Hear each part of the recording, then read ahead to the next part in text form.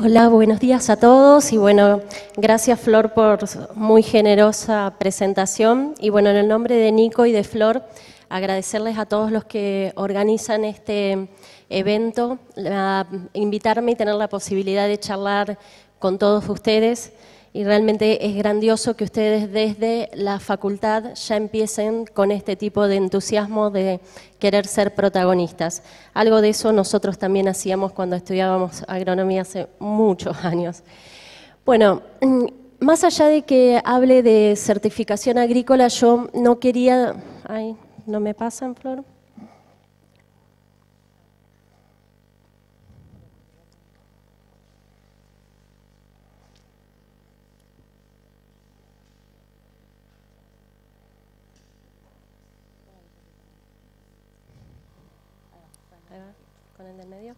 Bien, bueno, gracias, perdón. Y más allá de, mm, que usted em, eh, hable de certificación agrícola y de que seguramente ustedes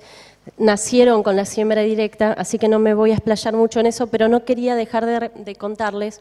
que APRESID somos una red de productores, técnicos y otros actores de la comunidad agroalimentaria que estamos distribuidos en todo el país y la base de la institución es el trabajo en red y diría que la riqueza es justamente la apertura, el intercambio, la convicción de que nadie sabe tanto como lo que sabemos juntos. Y entonces compartimos todos, todas las experiencias, errores y aciertos, sobre todo los errores para que los que ya los cometimos, los de otros no los cometan y los que encontraron buenas experiencias las compartan para que las accedamos rápidamente todos.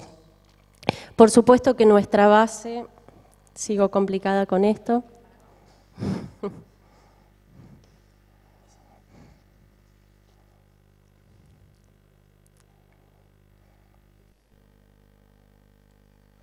Bien, acá.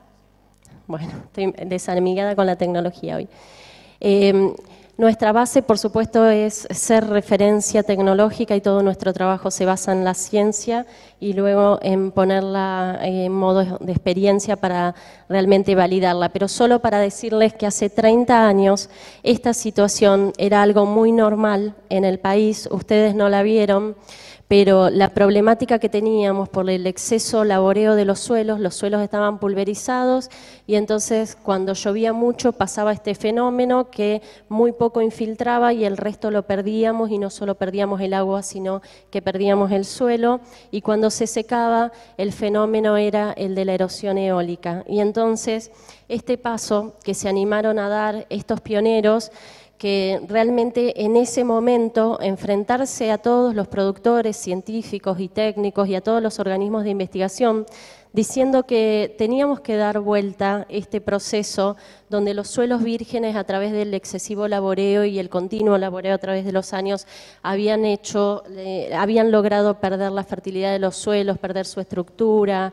eh, emitir demasiados gases eh, a la atmósfera, estaban convencidos que ellos, bajo la adopción de la herramienta de la siembra directa, lo podían revertir y esa convicción de trabajar con los suelos cubiertos, con los rastrojos del cultivo anterior y no volverlos a remover, nunca más, no tocarlos, era la mejor opción para asemejarlos cada vez más a la naturaleza. Y entonces, bueno, ahí nace APRESID, que en realidad hace 25 años, cuando se institucionalizó la asociación, estos pioneros lo que más querían era impulsar el sistema de siembra directa, sobre todo la herramienta de siembra directa. Más tarde, con el transcurso de los años, nos dimos cuenta que para buscar esa producción sustentable no solo teníamos que estar preparados tecnológicamente, sino que a nivel organizacional y tecnológico y institucional también era muy importante. Y definitivamente después del conflicto campo-gobierno de la 125 en 2008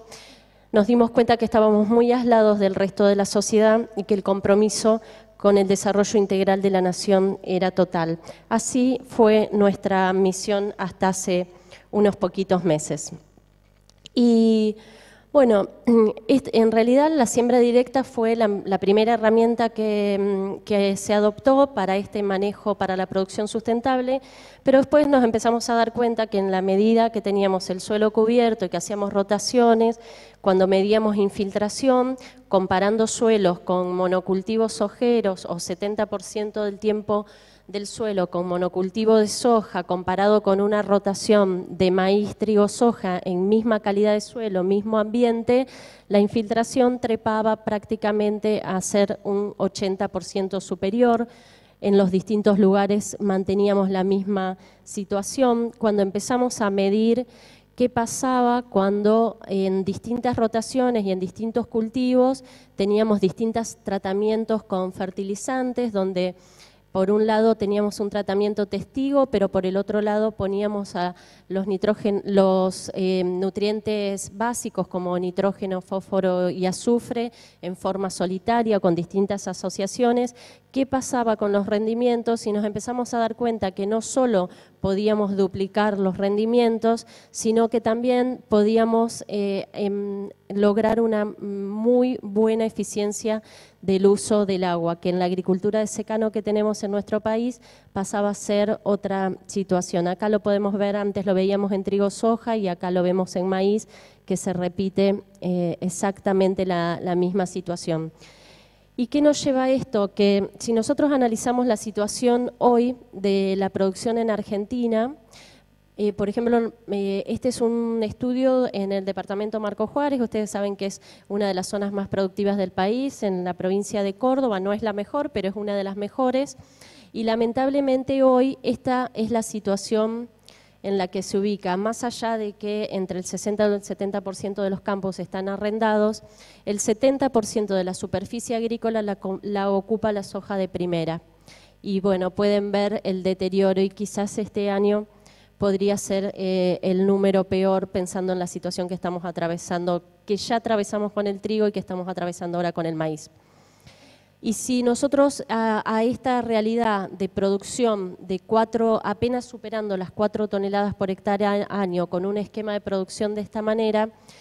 analizamos la rotación de un productor a Presid que lleva adelante las buenas prácticas que pregonamos, donde la soja de primera desaparece porque en estos ambientes de mm, casi eh, calidad número uno eh, podemos perfectamente tener eh, doble cultivo con maíz, una secuencia de rotación más intensiva. Este productor duplica, más que duplica la producción por hectárea año. Y podrían decirme, bueno, estamos ahí en el corazón, pero nos vamos a Bragado, al partido de Bragado en la provincia de Buenos Aires, y lamentablemente, si bien disminuye en un 5% la presencia de, de, soja y está más repartido entre trigo, soja y maíz,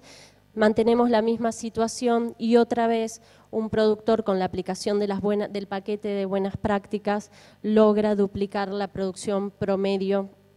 del partido. Se imaginan, nosotros siempre decimos que las metas que se plantea el PEA o que hablamos en distintos lugares donde podríamos alcanzar en 2020 los 160 millones de hectáreas serían, pero alcanzables con dos o tres políticas que nos cambien y que nos solucionen y que nos incentiven a trabajar de esta manera, podríamos lograrlo de una manera rapidísima. En dos años prácticamente ya podríamos estar alcanzando esas producciones.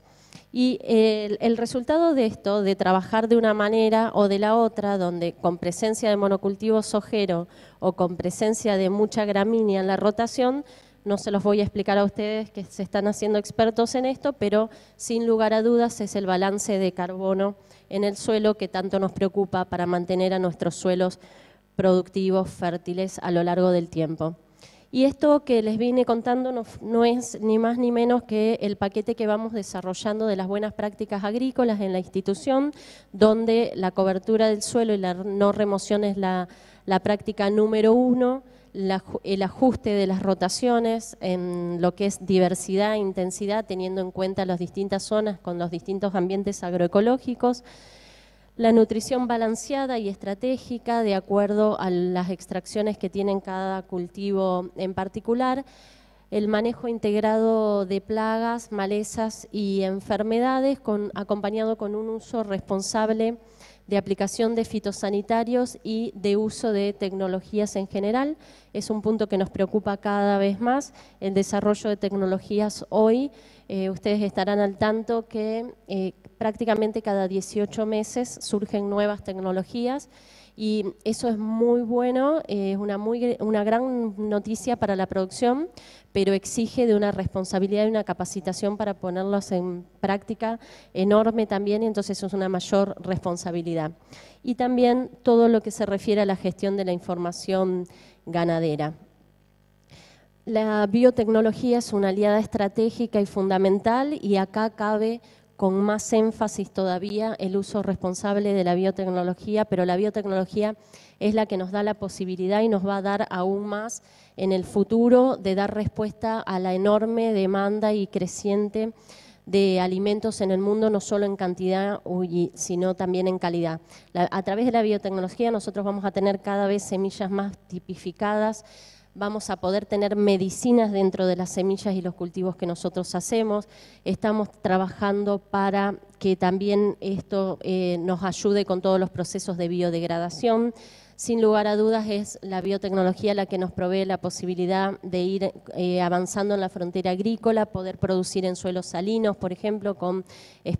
cultivos tolerantes y bueno, un sinnúmero de cosas que también seguramente que ustedes están más que al tanto y un trabajo que si bien está en marcha es una gran pendiente y tenemos muchas posibilidades en Argentina de seguir avanzando en lo que es en el desarrollo de las energías renovables. Y todo este eh, recorrido que les hice rápidamente, que no, no es para nada una receta, sino que nosotros estamos en mejora continua, permanentemente en evolución, estudiando, trabajando, buscando nuevas alternativas, pero eh, siempre nos mueve todos estos logros que se han dado a lo largo del año, donde se ha logrado prácticamente reducir la erosión tanto hídrica como eólica, se disminuye la evaporación del agua en más del 70%, se aumenta la eficiencia del uso del agua, una reducción drástica de la emisión de los gases de efecto invernadero por una muchísimo mejor, menor consumo de combustibles de uso fósil, la particular y espectacular posibilidad de estar secuestrando carbono en el suelo, con lo que eso implica para mantener a nuestros suelos vivos y eso, sin lugar a dudas, se transmite a una fertilidad no solo física y química, sino también biológica. Y eh, estamos logrando cada vez mayores rendimientos, pero lo más importante de este logro es la estabilidad que estamos logrando en los rendimientos. Realmente, eh, frente a las distintas adversidades climáticas, eh, se puede eh, evidenciar en los distintos lugares del país eh, lo que es la aplicación del paquete de buenas prácticas agrícolas. Tenemos menores costos, que eso nos ayuda muchísimo, como les decía, podemos avanzar en la frontera agrícola y tenemos menos horas de trabajo, no porque seamos vagos y no queramos, queramos trabajar, sino porque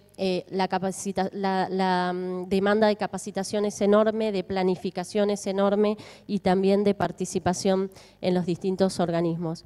Y nosotros, eh, yo me olvidé de mostrarles que esta foto estaba en la primer diapo cuando los pioneros iniciaron a Presid, pero ese día eh, era un típico día de campo de la institución, nosotros lo llamamos UPA, un productor en acción, donde un productor abre las puertas de su campo y le muestra a todos los que lo quieren ver lo que está haciendo.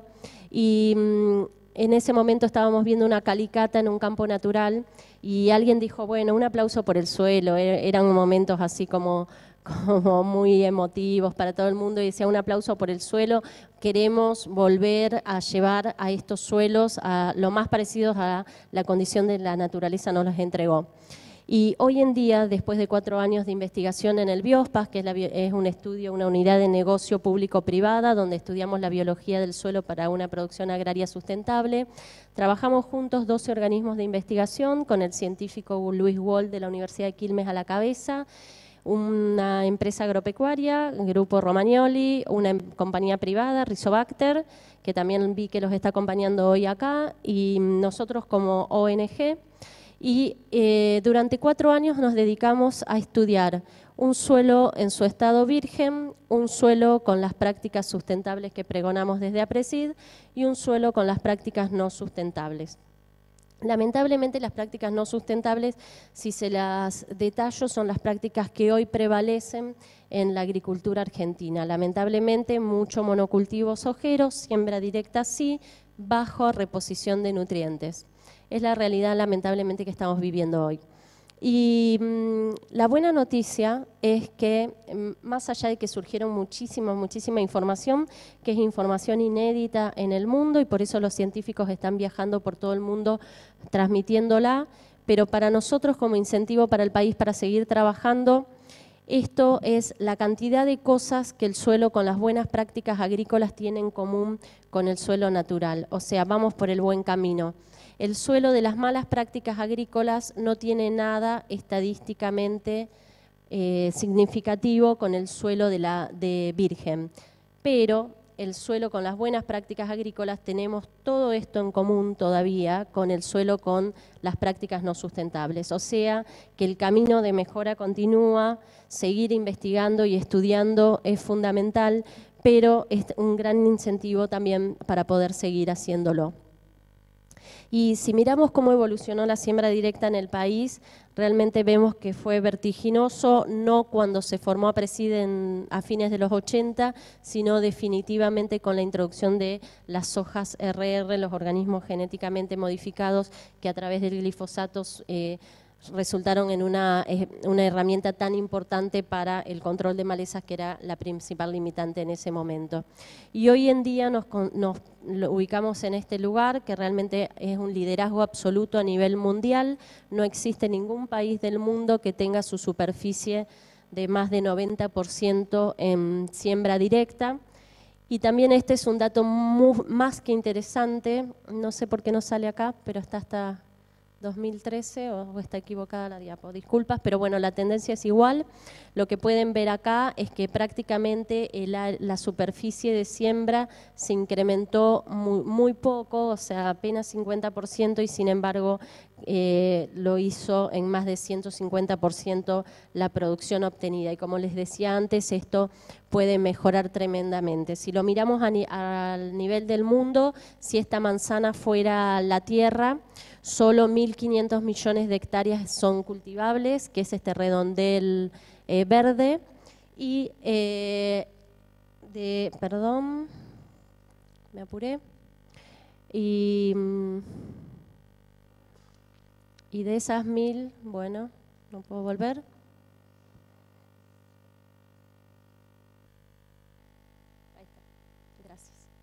y de esas 1.500 millones, solo el 8% está en siembra directa en el mundo, o sea que solamente en el mundo hay 125 millones de hectáreas que están en siembra directa. O sea, el camino a recorrer es enorme, el liderazgo del continente americano es total, definitivamente más del 75% de esos 125 millones de hectáreas están en el continente americano y lo espectacular es que más del 60% está en Sudamérica, la potencia Cono Sur, Brasil, Paraguay, Uruguay y Argentina para la demanda de la humanidad es enorme y sobre todo pudiendo dar garantía de que producimos de la mano del cuidado de la ecología. Argentina acá, insisto, tiene un liderazgo absoluto, pero cuando salimos de esa emoción de ser líderes absolutos con la adopción de esta herramienta tan importante, lo importante de esta herramienta es que sea adoptada como sistema, no como única práctica. No se trata de sembrar directamente, sino de la siembra directa como sistema acompañado con las buenas prácticas agrícolas. Y esto es una clara demostración de que en este sentido no podemos eh, pensar para nada en la sustentabilidad, porque esto es como están distribuidos hoy los cultivos en Argentina y vemos la enorme diferencia que hay en la proporción de lo que se siembra soja versus los otros cultivos, sobre todo las gramíneas, que son tan fundamentales para mantener a nuestros suelos fértiles. Esto es cómo ha cambiado esta relación en los últimos 20 años. Vemos que hace 20 años el 33% de la superficie era ocupada por soja, 10 años atrás ya pasó al 50% y hoy estamos entre el 60 y 70% como estábamos viendo. O sea, la necesidad de políticas de incentivo y que acompañen la adopción de las buenas prácticas, políticas públicas me refiero, es urgente, inminente. Cómo trabajamos nosotros desde la institución para revertir esta situación y para dar sustento a esa generación de las buenas prácticas agrícolas que nos posibiliten producir cuidando el medio ambiente. Prospectiva, nosotros trabajamos a través de programas, el programa Prospectiva es el tanque de pensamiento de la institución, es la mirada de largo plazo, es anticiparnos a los problemas que van a venir. En este programa tenemos referentes y consultores de, no solo de Argentina, sino del mundo, y también tenemos a consultores estratégicos que trabajan para áreas estratégicas, tenemos una biblioteca digital de más de 15.000 trabajos eh, de todo el mundo, no solo del país. Tenemos publicaciones institucionales específicas, técnicas, de intercambio entre productores a lo largo de todo el año y sin lugar a dudas el icono es nuestro congreso, el congreso anual, donde justamente hacemos culto de esto, de compartir experiencias y no solo escuchamos a los expertos, sino que nos reunimos en talleres, en salas de inteligencia colaborativa para poder trabajar y discutir las problemáticas que tenemos a diario y entre todos buscar soluciones. El programa de Sistema Chakras es em, un programa que se creó para que el avance de la frontera agrícola se haga en forma eh, responsable pero después eh, fue tan exitoso que hoy en día está en todos lados en el país. Es una investigación a campo en vínculo con INTA y universidades. Los productores se ponen de acuerdo en una problemática que quieren resolver y el profesional que lleva adelante la tesis al mismo tiempo hace una maestría y es coordinado por una mesa de científicos. Esa información es de muy avanzada, inmediatamente que es validada por la mesa científica es totalmente pública para que se pueda adoptar masivamente. Eh, para que tengan ideas, tenemos chacras desde Formosa hasta el Valle Medio de Río Negro y o sea, en zonas que recién están arrancando con la producción y en zonas que tienen más de 100 años de agricultura continua. La red de malezas resistentes, ustedes saben que es una problemática que está realmente mm, poniendo grandes trabas a la producción y en APRESID eh, hace cinco años que trabajamos con esta problemática y mm, la, forma de hacerlo es con una plataforma donde participamos absolutamente todos los actores, los formuladores de principios activos, los expertos en maleza, los productores, las compañías que venden y todos tratando de buscar soluciones para esta problemática y que el productor los tenga eh, rápidamente. Aula Presid es, em, salimos a los colegios a contar lo que hacemos en el campo, no damos cátedra, sino contamos como productores lo que hacemos. Y hoy en día este proyecto que empezó para los colegios realmente lo damos en todos los lugares, incluso los estamos dando en los congresos de los distintos em, provincias, me refiero a las cámaras de diputados y de senadores, a los consejos deliberantes. Y bueno, es una buena forma eh, que estamos intentando de llegar a encontrarnos con la sociedad para contarles lo que hacemos.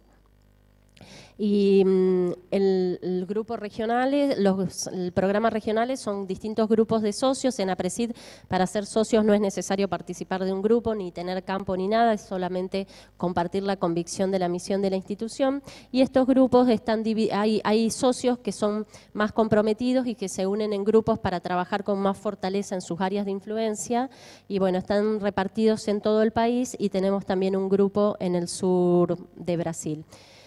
Y eh, ahora nos metemos en lo que es la certificación. El programa Agricultura Certificada. ¿Por qué se generó Agricultura Certificada?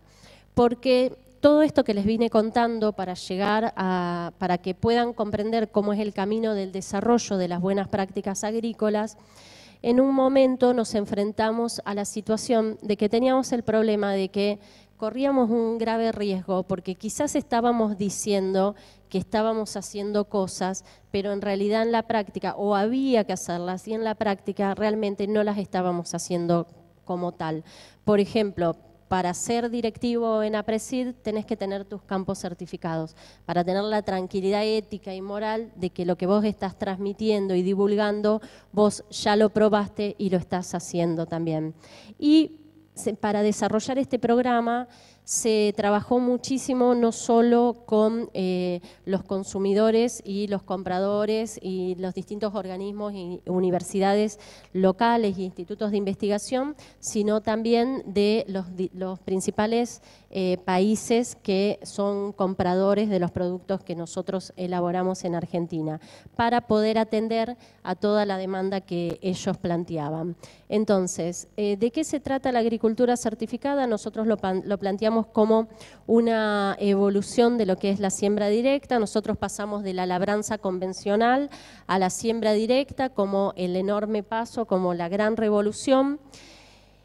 la, siembra directa para nosotros ya no, es necesario que les vuelva a decir lo, que eso implicó para la producción, pero para la sociedad es muy importante mostrar que nosotros podemos producir manteniendo el aire limpio, usando el agua solamente estrictamente la necesaria y manteniéndola sin contaminación y sobre todo manteniendo a los suelos fértiles. En ese sentido, agricultura certificada se plantea como la posibilidad de poder mostrar verdaderamente y con un organismo totalmente objetivo, porque es un tercero, es una, em, son em, empresas que brindan el, el, servicio de certificación, no podría hacerlo APRESID porque no podemos ser juez y parte de lo que hacemos definitivamente. Entonces, ¿en qué consiste la agricultura certificada? Es eh, una serie de herramientas que em, contribuyen a lo que es la gestión agronómica profesional. Se basa en, eh, entiendo que en la industria y a lo mejor algunos de ustedes Mm, por distintos motivos estén más eh, familiarizados con los sistemas de gestión de calidad, pero realmente en, el campo y para los productores pensar en protocolos, en documentación, en eh, poder em, tener eh, una reglamentación interna de cómo es el manejo, de cómo, cómo tenemos que tener las instalaciones, de cómo es el trabajo de ida y vuelta con, con la gente, con nuestros equipos de trabajo. Realmente era impensado en otro momento, pero hoy lentamente lo vamos eh, adoptando y entonces básicamente lo que se hace es... Eh, por un lado, hay una fuerte determinación de lo que son las buenas prácticas agrícolas, que ya se las mencioné, que son condición sine qua non para llevar adelante.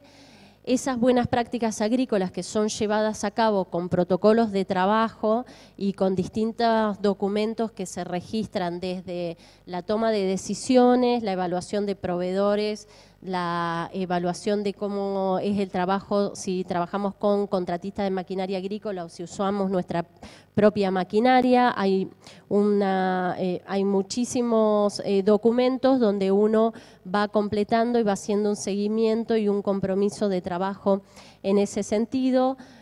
se van midiendo a lo largo del año distintos indicadores que por un lado son indicadores eh, de suelo y por el otro lado son indicadores productivos de mm, evolución.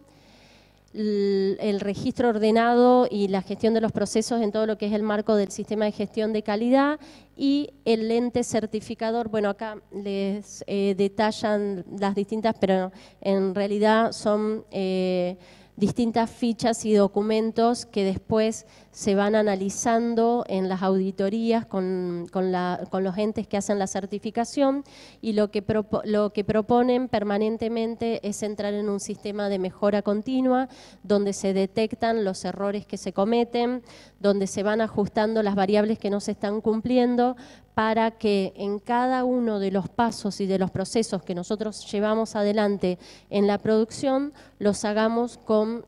la mayor excelencia posible. Y siempre nos rige en cada uno de estos procesos la convicción de el cuidado del medio ambiente. Y cuando hablamos del medio ambiente pensamos en, la totalidad de lo que significa el suelo, el aire y el agua. Y por supuesto teniendo un, un especial énfasis en todo lo que es el desarrollo humano.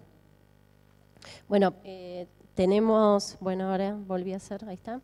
Eh, tenemos tres certificadoras, volví a hacer lío. Eh, tres certificadoras, pero mm, eh, lo importante es que mm, eh, estas certificadoras van aplicando también según una capacitación que van teniendo y todo, porque es todo un proceso que hubo que cambiar porque normalmente las entidades de certificación no se dedicaban a certificar procesos a campo. Así que en realidad fue eh, una, mm, eh, un proceso de, de, aprendizaje de todos juntos. Y hoy en día nosotros la verdad que estábamos eh, éramos muy optimistas, pensábamos que los productores iban a querer rápidamente certificar porque te ordena mucho, te hace ser mucho más eficiente en todo lo que haces, conoces mucho mejor lo que haces y podés eh,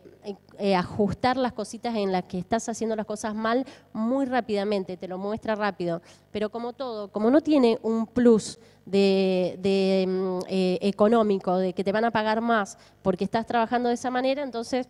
eh, no, no hay la, demanda que nosotros esperábamos. Pero bueno, si, eh, eh, como es el estilo de, de seguir trabajando, seguir mejorando, seguir tratando de contagiar en este proceso,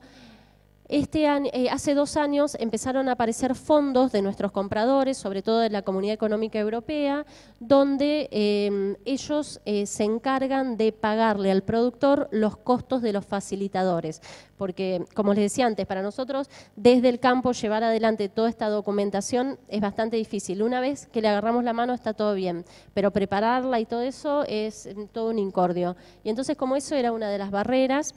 Em, estos fondos, logramos que estos fondos paguen a ingenieros agrónomos que están capacitados para llevar adelante y para acompañar a los productores en este proceso. Y entonces prácticamente vamos a terminar este año con casi 300.000 hectáreas certificadas en el país, que claro que es muy poco todavía, pero bueno, eh, el crecimiento en dos años fue vertiginoso, de 45.000 hectáreas pasamos a 300.000 y sobre todo, y lo más interesante que estamos convencidos que va, a lograr que más productores eh, se sumen, es el hecho de que empezamos a eh, tener algún plus de reconocimiento económico por la producción de, a, los productores que están certificados. Y sin lugar a dudas va a ser el mejor camino para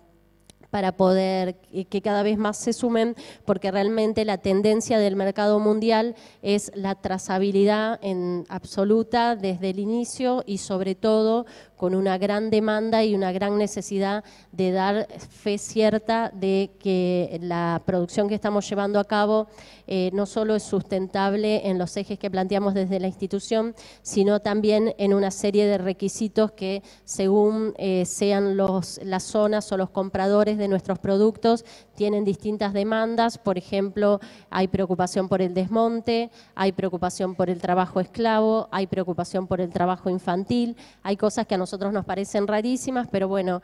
eh, es una verdadera demanda de los consumidores y entonces poder estar cada vez más ajustados en ese sentido. Y por eso también lo que nosotros hacemos desde APRESID es sumarnos a otras opciones de certificación para seguir ayudando al productor a hacer todo un paquete y no, no estar distrayéndose en propuestas diferentes. En definitiva, nosotros apuntamos a esto. Nosotros no queremos que solamente sean buenas prácticas ambientales, sino que realmente lo que se certifique sea el establecimiento, sea la empresa, que nos dé garantía que esas empresas agroalimentarias están trabajando como corresponde y están atendiendo todos los ejes de la sustentabilidad, están preocupados por tener un resultado económico productivo, están preocupados por hacerlo al mismo tiempo que están cuidando el medio ambiente y sobre todo lo hacen con un compromiso enorme del desarrollo local de las comunidades en las que vivimos, donde el desarrollo social sea un eje de fuerte compromiso al mismo nivel que lo que es el económico productivo. Y este año, a principios de año, con este eh, avance de lo que fue la certificación, lo que, lo que presentamos públicamente es la plataforma de producción sustentable de alimentos, fibras y energías. Estamos convencidos que somos muchísimos los que estamos trabajando en sustentabilidad y entonces ofrecer una plataforma donde todos los actores, no solo los productores, sino eh, los investigadores, la industria alimenticia, los bancos, las aseguradoras, los municipios, los gobiernos provinciales, trabajemos todos juntos porque estamos convencidos que hay que eh, hacer darle valor a una producción teniendo en cuenta todos estos aspectos comparado con una producción que no lo hace, que destruye el medio ambiente o que no se, no se involucra con el desarrollo de otras personas, de las comunidades en las que vivimos. Y entonces en ese sentido trabajar juntos para poder revertir esta situación. Y bueno, ya empezamos, esto fue eh, presentado el 9 de junio en Buenos, acá en Buenos Aires en la Bolsa de Cereales y hoy ya tenemos a cinco empresas líderes eh, multinacionales trabajando con nosotros. Tenemos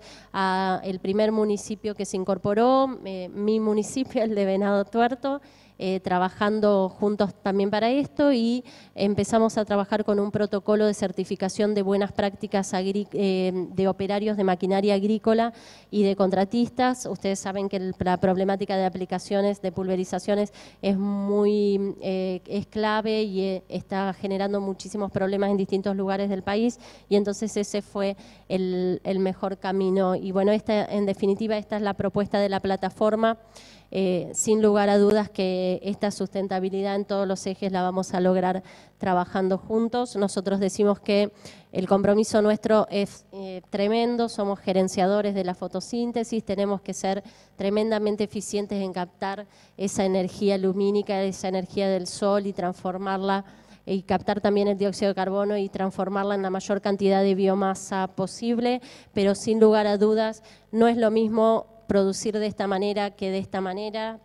Tiene que haber una, eh, una diferenciación en ese sentido y no nos podemos quedar solamente con la producción esta y con este compromiso, sino que el, todo lo que es el desarrollo de nuevas tecnologías, de biotecnología, va de la mano de todo lo que es las buenas prácticas para poder dar eh, respuesta en ese sentido. Trabajamos en en vínculo con otras entidades también. Este es una pequeña muestra de con todas las entidades, organismos, cadenas y distintos tipos de instituciones que trabajamos pensando que juntos vamos a poder lograr los objetivos planteados y hoy llegamos a convencidos que nuestra misión ya tiene incorporada definitivamente la siembra directa, no hay que nombrarla porque ya está en nuestra convicción, está en nuestra convicción trabajar en red público-privada y está en, está en nuestra convicción que somos parte del desarrollo integral de la nación, por eso la, invitar a esta producción sustentable basada simplemente en el trabajo de la ciencia y en la gestión de conocimiento, convencidos que el resto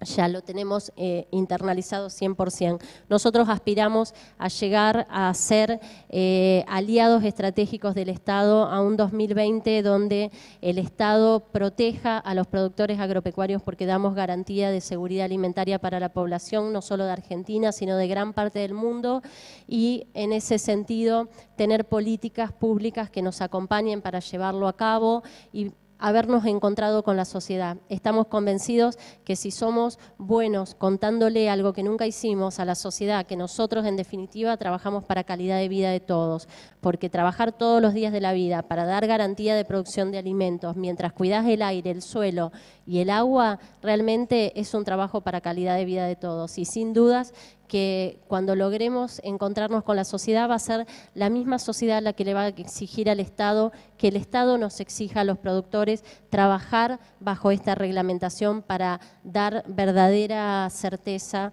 de seguridad alimentaria y de cuidado del medio ambiente. Y en ese sentido el compromiso con mejorar día a día las buenas prácticas es cada vez mayor nuestro, los próximos dos años vamos a estar trabajando muchísimo en lo que es desarrollo tecnológico y comunicación con la sociedad en su conjunto.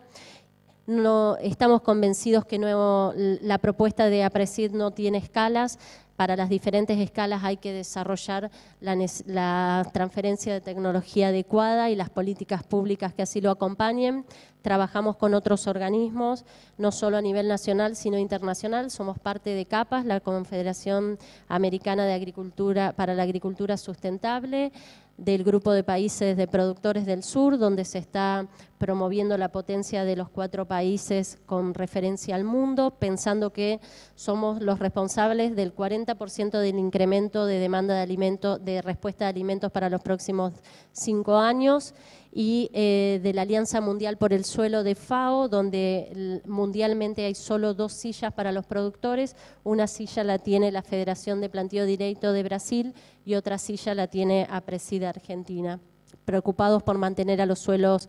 eh, vivos del planeta. Y bueno, sin lugar a dudas, la necesidad de trabajar de la mano del Estado para generar políticas, no solo para llevar adelante esto, sino políticas que realmente nos incluyan a todos. Y en este trabajo conjunto en el Cono Sur nos presentamos este año para ser sede del séptimo Congreso Mundial de Agricultura de Conservación. En 2017 se va a hacer, ganamos la sede, la vamos a hacer en Rosario y la propuesta de los cuatro países es mostrarles al mundo el modelo de producción sustentable que tenemos y definir líneas de trabajo para poder contagiarlo y llevarlo a las distintas zonas. Estamos convencidos que estamos preparados, necesitamos trabajar cada día más juntos y nuestra responsabilidad no solo que es local y regional, sino global. Muchísimas gracias.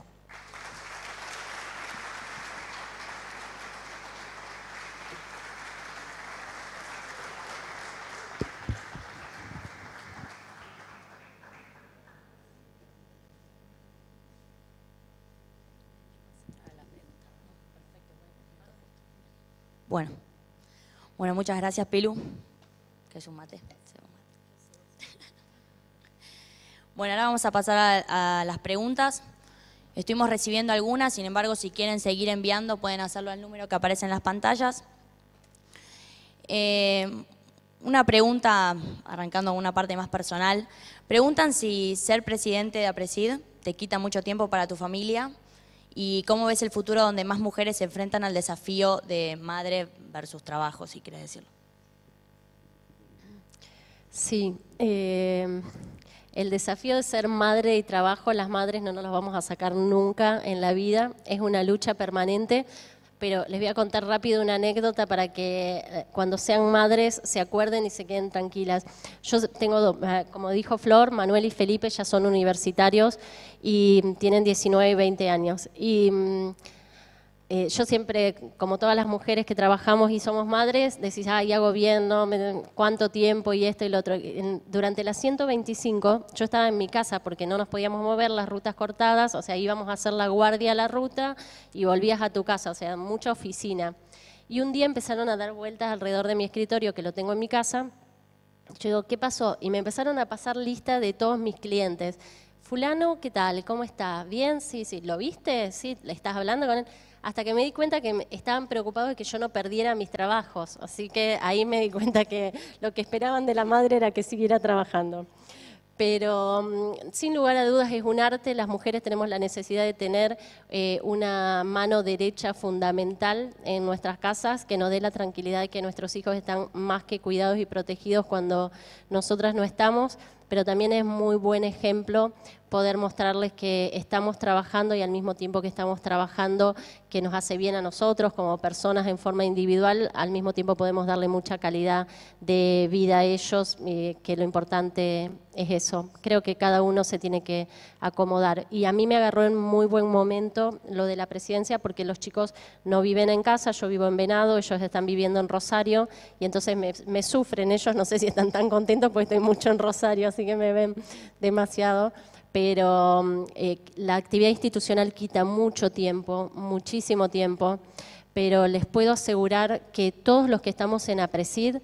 compartimos la misma, la misma convicción. Estamos porque APRESID nos dio muchísimo más a nosotros de lo que nosotros le podemos dar. Entonces hoy es una manera, lo estamos haciendo a lo largo de todos los años de APRESID, pero hoy es lo mejor que podemos hacer, dar eh, un poquito de lo mucho que nos dio la institución. Bueno, pasamos a otra pregunta, yo la leo directamente del celular.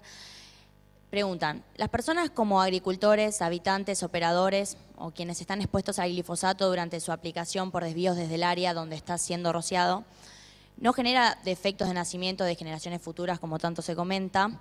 y si no es nocivo para su salud en algún punto? Y en cuanto al medio ambiente, si afecta la biodiversidad o contamina el agua y en todo caso, ¿qué se puede hacer para evitarlo? Ustedes eh, saben que, eh, bueno, ustedes son privilegiados porque ya nacieron en una época donde todos los productos fitosanitarios y fitoterápicos tienen un grado de amigabilidad con el, no sé si existe esa palabra, pero son amigables con el medio ambiente. Eh, e, es, realmente una preocupación a nivel mundial y una reglamentación muy exhausta de todo lo que significa eso. hace 25, 30 años les puedo asegurar que era muy difícil ver, em, yo nací en el campo, me crié en el campo, soy de un pueblo muy chiquito, vivo nada más que en Venado Tuerto por una cuestión que me quedó en el medio de todos mis trabajos, pero soy bien del campo y estaba súper acostumbrada a ver todos los animales, eh, liebres, perdices, zorros, eh, pájaros por todos lados. Y después realmente hubo un momento, hará unos 30 años, que empezaron a desaparecer y era muy difícil. Y ahora, hace razón de 10 años, volvieron a aparecer. Para ustedes debe ser muy normal ya verlos cuando, cuando están en el campo. Y sin lugar a dudas, el trabajo que se está haciendo en lo que es mejorar y bajar drásticamente la toxicidad de todos los productos que utilizamos es enorme. La reglamentación es muy, muy exigente y en Argentina podemos tener una tranquilidad enorme porque esa reglamentación está muy bien cubierta. Y hablando estrictamente del glifosato, em, como todo en la vida, o sea, eh, el glifosato no es ni para tomar, ni para rociarse, ni para nada. El glifosato exige un uso responsable y seguir estrictamente las condiciones y la, hoja de seguridad eh, que indica el marbete del, del, producto, el glifosato y todos los productos. Entonces, lamentablemente, cuando, se eh, cuando ocurren algunas cosas son ni más ni menos que la mala práctica que llevamos a cabo nosotros. Entonces, por eso es tan importante nuestra capacitación y nuestro compromiso en hacer cumplir eso como se debe. De todas maneras, les digo, no hay evidencia en el mundo científica de alguna malformación o alguna enfermedad atribuible al glifosato. En el mundo no lo hay. Por supuesto que cuando surgen estudios como habían surgido en Argentina, que se alimentan o se inyectan embriones de una especie con glifosato, seguramente que tiene, porque no, justamente no es para lo que está dictaminado el glifosato. Por otro lado, les, les recomiendo, hay dos o tres médicos toxicólogos en el país que dan muy buenas conferencias y escribieron muy buenos libros que cuentan realmente que estos problemas son por mala praxis, digamos, mala práctica nuestra, ¿no? Y no cumplir la reglamentación. Pero por el otro lado, todos estos productos, y aparte, bueno, la Cámara de Productos como es Casafe, todos los años publica cómo son las toxicidades y van pueden ver ahí que el nivel de toxicidad es cada vez menor y el nivel de residualidad es cada vez menor. Eh, el, otro tema mm, eh, importante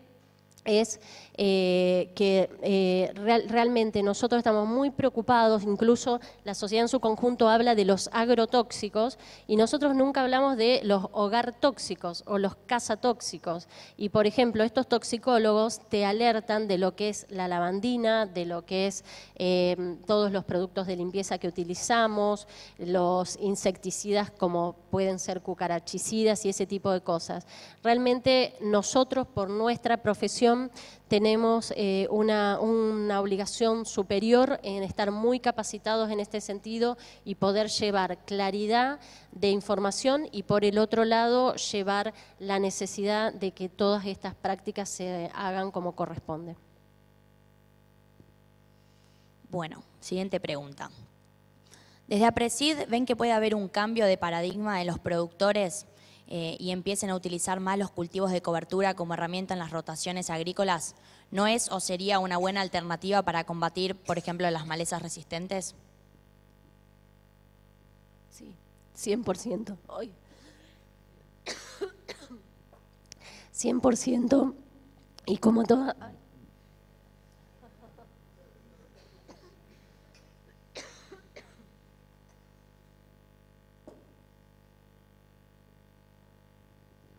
Gracias, Flor. Parece que no se debería tomar mate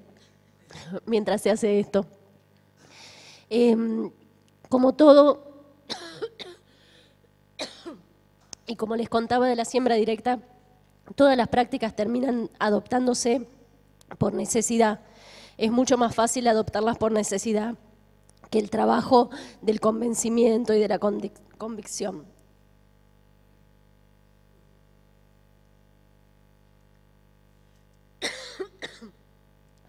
En muchos lugares el cultivo de cobertura se empezó a usar antes por una necesidad o que se volaban los suelos o que no podían hacer una rotación adecuada y entonces es más fácil que ahí se use. Los últimos años hubo dos situaciones que nos empujaron a los cultivos de cobertura. Por un lado, lamentablemente, las políticas que tenemos hoy de gobierno en el país eh, nos generan mucha restricción para sembrar cultivos como trigo o como maíz. Entonces muchos de los productores encontramos en la incorporación del cultivo de cobertura la tranquilidad o la vía para tener gramíneas anualmente en nuestros suelos y poder solucionar ese tema. Y por otro lado, los últimos años se ha convertido en muchos consultores, sobre todo consultores del extranjero, los australianos les diría que son los más expertos en esta materia, eh, ellos tienen muy poca agua y problemas de malezas resistentes, nos han eh, enseñado muchísimo a que el cultivo de cobertura es una de las mejores herramientas para el control de las malezas en general y una gran herramienta para el control de malezas resistentes. Pero analiza y se está usando cada vez más. Incluso se está con una amplia gama de cultivos de cobertura que van desde trigo, avena, maíz, eh, trigo, avena, cebada, centeno, vicia, en los distintos lugares. De todas maneras, les digo que agronómicamente el cultivo de cobertura es excelente, excelente. Realmente eh, es increíble comparando suelos desnudos, o sea, desnudos no, suelos cubiertos, pero sin cultivo vivo con un cultivo de cobertura, ese, cultivo ese suelo con cultivo de cobertura tiene más humedad disponible, aunque ustedes no lo crean,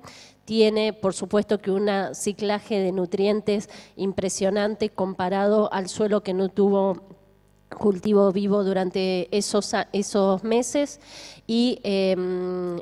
por supuesto que todo lo que implica mejorar la cobertura del suelo tiene también una implicancia muy superior comparado con el suelo eh, que no tuvo el cultivo de cobertura. Es una, gracias a Dios es una práctica que está cada vez incorporándose más, sea por la razón que sea, bienvenida, muy necesaria para mantener a los suelos fértiles. Muy bien. Y aprovechando que lo mencionaste en un momento recién, eh, una pregunta dice, ¿es posible dejar el monocultivo de soja en regiones no tan productivas sin que haya un incentivo de políticas de Estado? Sí, no, la verdad que no, es un es tremendo. Nosotros siempre decimos, les aclaro que nosotros trabajamos muchísimo con los distintos organismos del gobierno. Si algo hemos aprendido después de la 125 es que nosotros estábamos muy encerrados y teníamos muy metido adentro el famoso no te metas, porque es ni siquiera no te metas, no te metas argentino, que los políticos eran una cosa, nosotros éramos otra, nosotros éramos técnicos, no teníamos nada que meternos con los políticos. Y eso nos costó carísimo, no ocupar sillas, no llevar la problemática que teníamos, no llevar alternativas de solución. Y sin lugar a dudas, eh, fue una de las mejores cosas y siempre nos dedicamos muchísimo a, buscar lecciones aprendidas de la 125 y esta fue la fundamental, darnos cuenta que teníamos que participar, que eh, no es necesario estar de acuerdo y que al contrario, la riqueza viene en las distintas opiniones y en los distintos modos de pensar, es un ejercicio grande de apertura, de tolerancia, de respeto mutuo y de focalizarse en los puntos que tenemos en común para no perder el tiempo y ser más efectivos. Lamentablemente no, no, estamos siendo muy exitosos. La, metodología de Presid es participar y a, los a cada reclamo llevar una propuesta alternativa.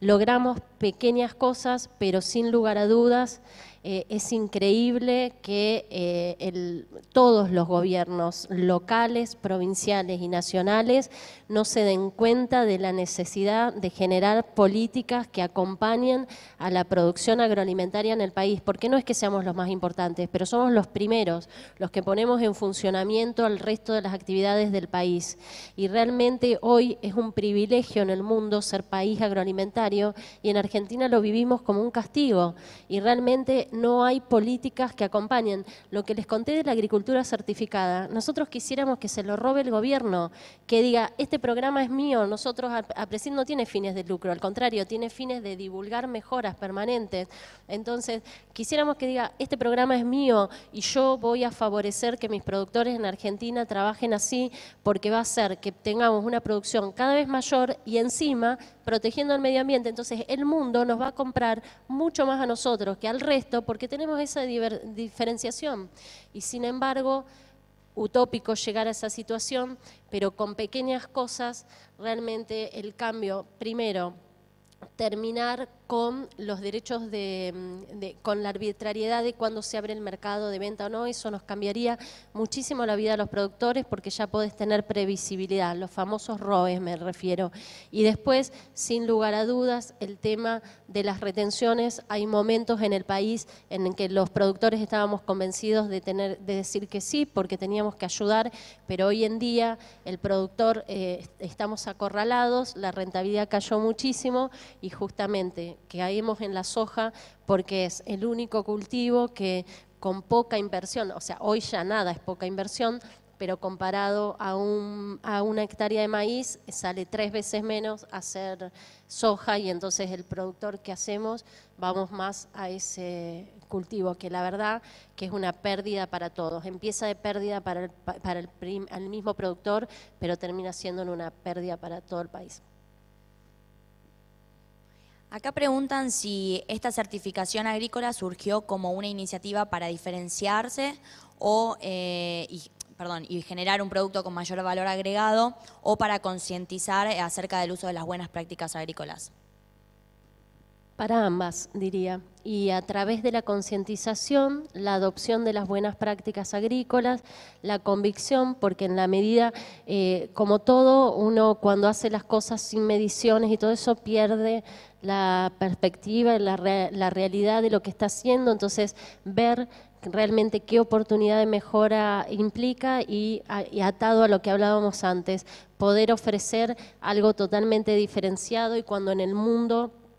eh, porque es increíble, ¿no? Cuando yo les decía que para la certificación trabajamos con eh, organismos y universidades, por ejemplo, de Holanda, de Alemania, Em, de Francia, y es increíble las exigencias que tienen otros países para nuestros productos, cuando en esos países no se cumple, pero en absoluto, ni siquiera la mitad de las observaciones que ellos nos hacen y exigencias que nos hacen a nosotros. Entonces, con más énfasis, poder definitivamente eh, mostrar que lo, que decimos, que hacemos y que se podría hacer, realmente se hace, tiene sus resultados y no lo estamos validando nosotros, que no podemos ser juez y parte, sino que un organismo externo que se dedica a eso lo está eh, mostrando. Insistimos, nosotros estamos convencidos que debería ser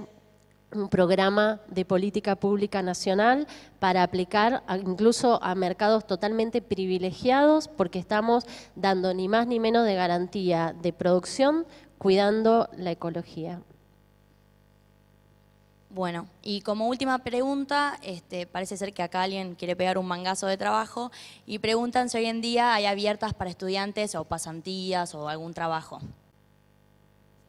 Sí, en APRESID eh, nos quisiéramos tener muchísimos más, pero la reglamentación vigente nos, solo nos permite tener dos pasantes por año. Esos pasantes se cumplen a rajatabla y lo que hacemos es a toda la cantidad de, estudiantes que se presentan, tenerlos en nuestra base de datos y entonces en los distintos eventos que hacemos ir invitándolos para que se sumen y entonces se vayan incorporando a la comunidad APRESID. Y algo que mm, estuve charlando con Nico y con Flor antes de empezar y aprovecho a comentarles, yo soy fruto de APRESID joven. Eh, cuando los pioneros empezaron a APRESID en los 80, nosotros éramos un grupo de hijos de ellos o amigos o productores jóvenes o estudiantes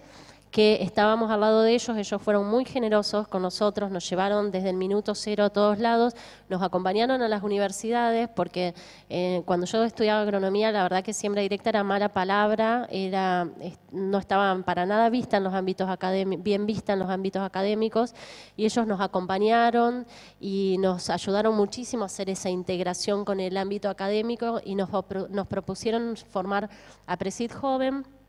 para que mantengamos ese entusiasmo y ese intercambio. Teníamos seminarios de estudiantes, donde iban estudiantes de todo el país y teníamos mucho intercambio con los productores jóvenes de los países limítrofes, muy, muy enriquecedor. Lamentablemente se discontinuó y ahora en abril, que tomamos eh, la posta de la gestión esta 2014-2016, una generación que tenemos promedio 45 años, ya sé que para ustedes somos muy viejos, pero para nosotros somos muy jóvenes en la institución y entonces lo primero que dijimos, tenemos que devolverle a Presid lo que eh, nos brindó de formarnos a lo largo de estos 25 años. Estamos reflotando a Presid joven, así que los vamos a estar eh, contactando para que se puedan sumar y sin lugar a dudas podemos generar también otro tipo de posibilidades de trabajo en conjunto. Bueno, muchísimas gracias Pilu por haber venido, un honor realmente tenerte acá, así que le podemos dar un aplauso.